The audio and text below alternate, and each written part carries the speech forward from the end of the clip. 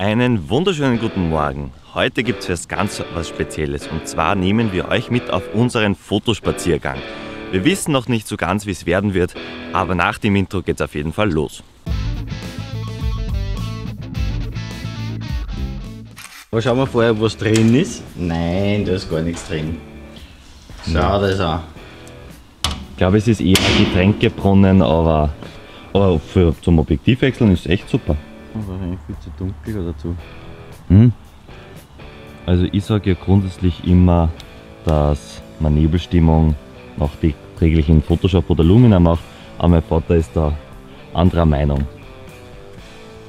Nein, es ist schon schöner, wenn man es fotografiert. Aber das stimmt, Nebelstimmung ist wirklich eines der schwierigsten Sachen einzufangen für Fotografen. Und es ist einfach immer wichtig, dass man nicht versucht, den Nebel wegzumachen und auch nicht versucht, ihn zu provozieren. Das ist einfach, ein schönes Nebelbild hat Nebel. Nicht mehr, nicht weniger. So, du hast dich auch noch gar nicht vorgestellt. Äh, ja, ich bin der Gerald und wir gingen da richtig vor der Haustür weg. Das ist einfach das Schöne bei uns. Dass wir da gleich einfach losmarschieren können, im Bach entlang, im Edlerbach entlang und finden schon die Motive. Also ich finde das da vorne gar nicht schlecht. Da vorne? Ja, der Baum da. Der Baum da. haben sie mal einen großen Baum gelegt. Ja, wir haben da quasi die führende Linie, die zum Baum führt. Und da hinten leuchtet so ein bisschen gerade das Laub schön aus. Kennt gut werden. Schau mal. So, wichtiger Tipp am Rande, das Bild war jetzt zu dunkel, weil Spiegelreflexkamera, das heißt man sieht nicht das fertige Bild durch den Sucher. Immer wichtig, auf die Belichtungsanzeige schauen. Wenn das Strichel bei 0 ist, ist perfekt. Ein bisschen drunter ist okay. Ein bisschen darüber ist auch okay, aber nicht zu viel des Guten. Ja, super, oder? Super. So, Vordergrund macht Bild gesund, oder? Ja, ich habe jetzt da den Vordergrund reingenommen. Ich versuche es Ja. jetzt noch einmal. Ich finde das ganz gut. Ich meine, das. Display darf man da jetzt nicht jetzt heranziehen. Aber wir versuchen es noch einmal. Das sind diese Himbeerblätterwängel. Mhm. Also ich mag ja eigentlich diese Stimmungen so ein bisschen so Ton in Ton, nebelig und doch das Leichten vom Laub. Mhm. Könnte ganz nett werden. Ja, wir werden sehen. Gut. Ich glaube, wir gehen einmal weiter, oder? Ja. Super. Ihr und mein Super, das ist echt. Aber für die jungen Leute, weißt, das, das wird sein für die jungen Leute. Unsere Zielgruppe sind ja junge Leute. Wenn jetzt da wer älterer zuschaut, es ist voll okay, es gefreut mich, aber eher junge Leute. Also, ähm, ich würde mal sagen, sagen U60, sprich. Also, mein, mein Vater zählt nicht mehr dazu. Der Linien kann natürlich alles sein. Äh, Bach, äh, Weg, äh, äh, umgefallener Baum, äh, Formation im Felsformation oder was immer. Mhm. Das ist einfach zum Objekt, das ich fotografieren will, hinführt. Ja, was eine gewisse Dynamik gibt, hinführt, vorbeiführt, Ja, muss man schauen. das heißt, da im Hintergrund sieht man zum Beispiel den Weg und der Weg, der führt einfach schön ins Bild hinein und gibt einfach so ein bisschen eine, eine dreidimensionale Wirkung. Und übrigens, Baum ist ein Baum. Nur so. Wir sind Österreicher, es tut uns leid. Die einzige Herausforderung bei Spinnennetzfotografie, sicherlich eine eigene Sparte, na Scherz, ähm, ist auf jeden Fall der Fokus. Weil mich filmt gerade die Nikon ZX2 und sogar die hat Probleme, den Fokus bei einem Spinnennetz zu finden. Am besten einfach manuell fokussieren, dann hat man dieses Problem nicht. Schwammerl fotografieren. Ist, man sieht Körpereinsatz gefragt, wenn man kein Klappschwenkdisplay hat natürlich. Und bei der schönen alten Kamera haben wir das nicht. Dafür klingt. Dafür das ist jetzt wirklich der einzige Grund, warum wir uns diese Kamera gekauft haben, die Nikon D3X war, weil es einfach einen mechanischen Verschluss hat, der komplett mechanisch ist und dieser Klang dessen ist schon, also ist schon gut. Mit dem kann eine moderne Nikon oder Sony, Canon, was auch immer, leider nicht mithalten. Tut mir leid. Und gleich neben diesem wunderschönen Schwammerl, das mein Vater gerade fotografiert hat, sehen wir da.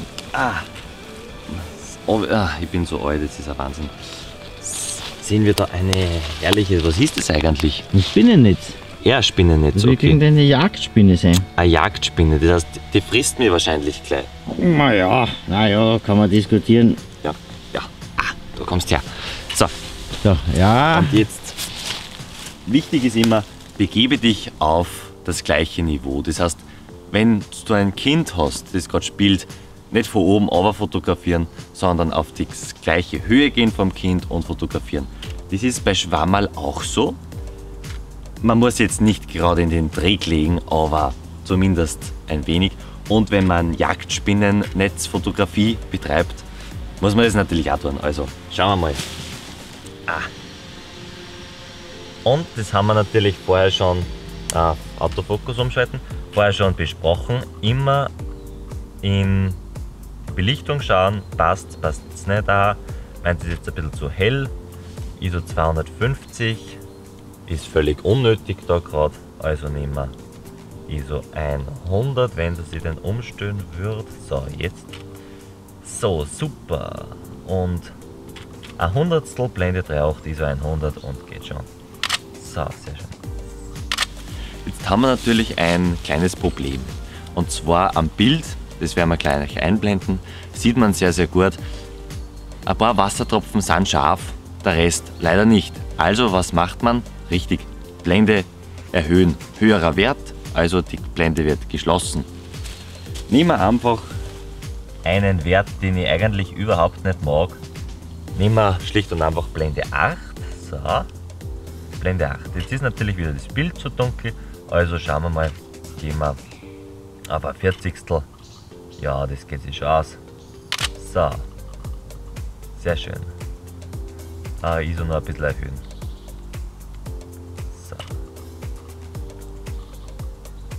Gut. Super. Hammer. Das Problem bei dieser alten Kamera ist, das Display ist wirklich scheiße. Darf man scheiße sagen auf YouTube? Ich weiß nicht. Sicher. Sicher. Mein Ja. Vater sagt sicher, also dann ist es sicherlich genehm. Ist wirklich nicht gutes Display. Also lieber daheim am guten Laptop oder Computer anschauen. Dann funktioniert's.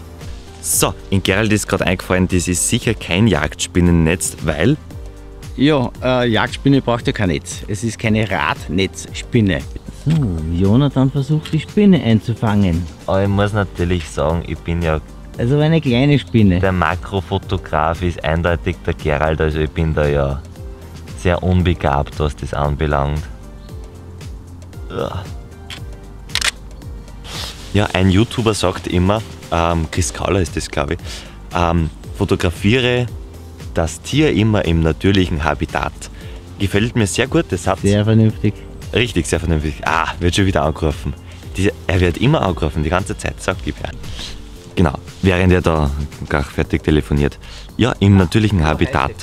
Deswegen würde ich immer vorschlagen, dass man grundsätzlich, wenn man das machen will, immer so ein 35 oder 50er Makro kauft oder verwendet zumindest. Und wenn man, wenn einem das nicht wichtig ist, wie zum Beispiel mir, mir geht es einfach darum, Details einzufangen von einem Tier oder eben eine kleine Spinne formatfüllend auf das Bild zu bekommen, dann macht es auf jeden Fall Sinn, äh, ein 105er Makro zu kaufen. Das ist glaube ich ganz klar. So, jetzt schauen wir noch, wie er telefoniert. Da war es fast verlegt, der Abfluss. Da hat sich wirklich was am Moos davor gelegt. Und es kann sein, dass es sich zurückgestaut hat und hat es nicht schnell genug. Vernünftiges Handy auf jeden Fall, das muss man schon sagen. Das funktioniert nämlich, nicht so wie ja, das ist, diese Wish-Handys, also Smartphones werden es auch genannt. Das, das setzt sich nicht durch. Ah, ich glaube, es geht wieder weiter. Ja, einen Wunsch hätten wir noch an das Nikon-Team und zwar bitte gebt uns einen Spinnenaugen-Autofokus. Am allerliebsten per Update für die Nikon D3X. Und ja, ich weiß, dass das nicht möglich ist, aber es war trotzdem geil. So, und die nächste Spinne wird fleißig fotografiert. Jetzt krabbelt es weg. Ja, hier im Hintergrund sieht man gut die herrliche Mostviertler Landschaft. Es ist wunderschön da. Es ist grandios und so spektakulär vor allem. Ja, also wir haben jetzt da gerade den perfekten Porträtspot entdeckt und ich glaube, Wir machen, wir's. wir probieren wir's. Wir probieren ob's aufgeht. Genau.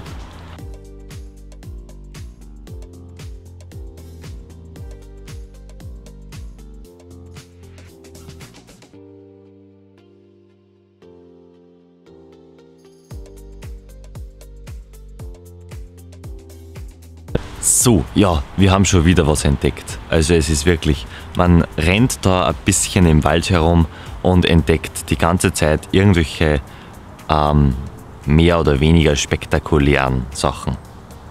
Wie zum Beispiel einen Pilz. Einen verschimmelten Pilz. Ja, es ist quasi ein Schimmelpilz. Schimmelpilz am Pilz. Den muss ich manuell fokussieren, anders komme ich da nicht hin. Ja, also ich glaube, da mit einer moderneren Kamera als dieser Kamera wird das auch funktionieren mit Autofokus auf jeden Fall. Aber die, die D3X ist halt doch, ich glaube, 10 Jahre alt oder so. Ja, funktioniert noch. Oh, welch Wunder. Ist halt ein Nikon. Ja, und dann wir wieder die großen Fragen, die man sich stellt. Fokussiert man lieber auf den Baum im Vordergrund oder auf den Hintergrund? Hm. Beides ist schwierig, außer man würde ein Fokus-Stacking machen, aber das ist ähm, ja, uns jetzt zu viel Aufwand. Ja, wir haben was gefunden und zwar einen Teich, ja, mitten im Wald.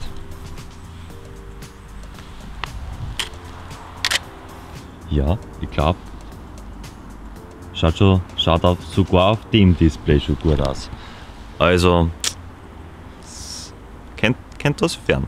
Ja, einfach äh, bei Nebel rausgehen und diese Stimmung und so, also das hat durchaus auch seinen Reiz. Da kann man, glaube ich, ganz gute Fotos machen. Werden wir schauen, ob wir es auch wirklich zusammenbringen heuer. Jetzt der Mann nicht. Heute. Heute. Ja. Vielleicht sind wir einfach schlecht. Das kann natürlich sein.